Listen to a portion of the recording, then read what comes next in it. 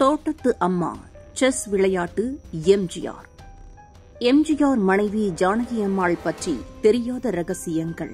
தமிழக முன்னாள் முதல்வர் எம்ஜிஆரின் மனைவியும் தமிழகத்தின் முதல் பெண் முதலமைச்சருமான ஜானகி ராமச்சந்திரன் அவர்களின் நூற்றாண்டு விழா சமீபத்தில் கொண்டாடப்பட்டது. இவர் கடந்த ஆயிரத்து தொள்ளாயிரத்து எண்பத்தி எட்டாம் ஆண்டு ஜனவரி இரண்டாம் தேதி தமிழக முதல்வர் ஆனார். கேரள மாநிலம் வைக்கம்தான் இவரது சொந்த ஊர். ஜானகி அம்மாள் பற்றி பல விஷயங்கள் இந்த தருணத்தில் தெரிந்து கொள்ளலாம். ஜானகி அம்மாவுக்கு தோட்டத்து அம்மா என்ற செல்ல பெயரும் உண்டு. எம்ஜிஆர் வாழ்ந்தது ராமாவரம் தோட்டம் என்பதால் இந்த பெயரும் அவருக்கு உண்டு. கோபமே வராத மனுஷி என்றால் அது ஜானகி அம்மாதான். தனது உடல்நலன் மற்றவர்கள் உடல்நலனில் மிகுந்த அக்கறை கொண்டவர். வீட்டுக்கு யார் வந்தாலும் சர்க்கரை போடாம பால் டீ கொடுப்பார். ஒழுக்கத்திற்கும் மிகுந்த முக்கியத்துவம் கொடுப்பார். தனது தம்பி வழி பேரக்குழந்தைகளுக்கு ஒழுக்கத்தை பற்றி கற்றுக் கொடுப்பார். சாப்பிட்ட தட்டை கழுவி வைப்பதில் இருந்து பெரியவங்களுக்கு மரியாதை கொடுப்பது வரை அது இருக்கும்.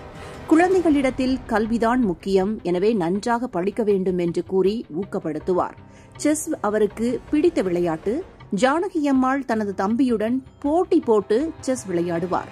அப்போது இருவரும் செல்ல சண்டை கூட போட்டுக்கொள்வார்கள் தனது கணவர் எம்ஜிஆருக்கு தமிழக முன்னாள் முதல்வர் கருணாநிதி அரசியல் ரீதியாக எதிரியாக இருந்தாலும் அவரை முறை தவறி விமர்சிப்பவர்களை ஜானகி அம்மாள் கண்டிப்பார் என்று அவருக்கு நெருக்கமானவர்கள் கூறுகிறார்கள்.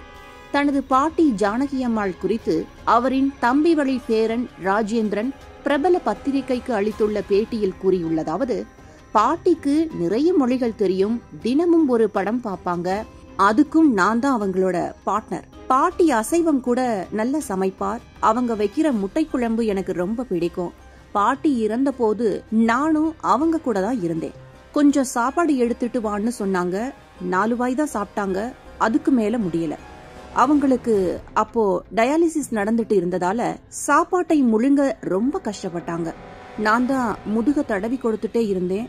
உட்கார்ந்தபடியே பாட்டியோட உயிர் பிரிஞ்சிருச்சு இறந்துட்டாங்க என்று உருக்கமாக தெரிவித்துள்ளார்.